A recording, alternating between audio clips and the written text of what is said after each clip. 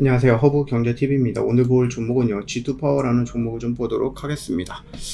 어, G2 파워 지능형 AI 배전반 등 신제품 연내 출시한다라고 얘기가 나와주고 있죠.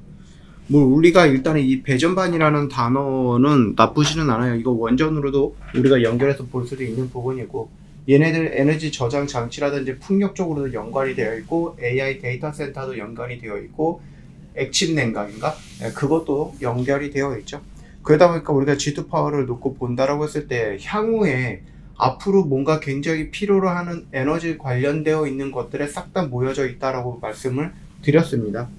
물론 얘가 두산 에너빌리티랑처럼 또는 뭐 하나 솔루션처럼 어떤 특화되어 있는 어떤 특정 분야의 대장의 역할을 하지는 못하지만 그럼에도 불구하고 테마가 형성이 됐을 때 얘가 원전에서 대장의 역할을 예전에는 좀 해줬었다. 라는 부분이기 때문에 우리가 잊혀져 가는 종목이 되어서는 안 된다고 생각합니다.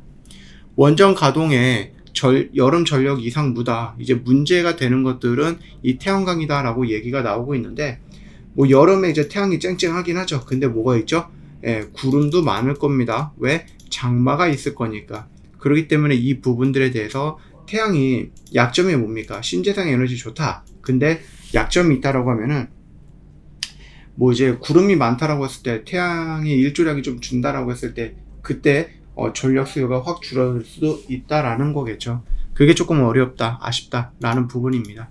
그럼에도 불구하고 우리가 이거를 어 버릴 수는 없는 거죠. 그래서 원전이랑 같이 좀 키워 나아가야 된다라고 좀 말씀을 드리겠고 푸틴 베트남의 원자력 기술센터 설립, 원전 산업의 발전을 도울 것이다. 뭐 이런 식으로 얘기가 나와주고 있고 원전이든 뭐든 지금 당장 지어야 된다. 전 세계에 난리 난 이유가 뭐냐라고 했을 때 AI가 계속해서 성장하면 할수록 어, 전기를 먹는 하마가 될 거다라는 뉴스들이 굉장히 많이 나와주고 있거든요.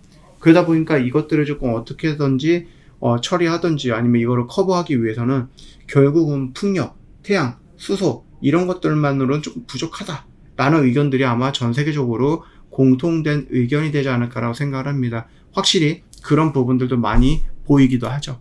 네, 그렇게 생각을 하신다라고 했을 때는 충분히 긍정적으로 우리가 원전들의 성장이라든지 이런 것들은 볼 수 있어요. 다만 아쉬운 부분이 뭐냐라고 했을 때, 이 원전 이슈는 우리나라가 2년 전부터 계속해서 윤석열 대통령 입에서 나왔던 공약 중의 하나이기 때문에 우리나라 이슈만으로는 너무 힘이 딸린다는 얘기죠. 그러니까 2년 동안 계속해서 해왔던 얘기이기 때문에 뭔가 임팩트 있거나 아니면 오 이거 대단한데 라고 해서 막 움직이기에는 너무나도 소모가 된 재료다라고 보시면 됩니다. 결국은 우리가 기대를 하고 있는 수주라든지 이런 것들에 대한 좀 명확한 방향이라든지 아니면은 뭔가가 나와주는 게 가장 깔끔하게 테마가 형성되고 막 치고 올라가게끔 만들 수 있는 분위기를 만드는데 그게 최고다라고 생각해요. 그 점만 참고해 주시면 될 것 같습니다. 저 허브경리TV와 매주 여러분들과 같이 매매를 좀 진행을 하고 있습니다. 어렵지는 않을 거라고 생각을 해요. 무료 체험 같은 경우는 매주 25%를 목표로 하고 있고요. 여러분 시장이 좋던 나쁘던 간에 댓글에 링크 한번 눌러주시고 무료 종목 신청 버튼 한번 눌러주세요. 딱 두 번 클릭을 하시면 저희랑 같이 이거를 목표로 해서 매매할 수 있는 기회를 바로 갖게 될 겁니다.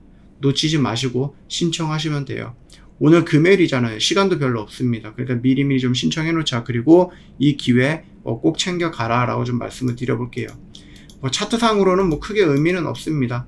여기에서 지금 이렇게 움직이고 있기 때문에 여기 안에서의 움직이는 모습들 뭐 오르던 떨어지던 양봉이던 음봉이던 간에 그거는 지금 당장 중요한 거는 아닙니다. 결국 여기서 이런 액션이 나오는 거 그걸 지켜볼 만한 자리다라고 말씀을 드려봅니다. 고생 많으셨습니다.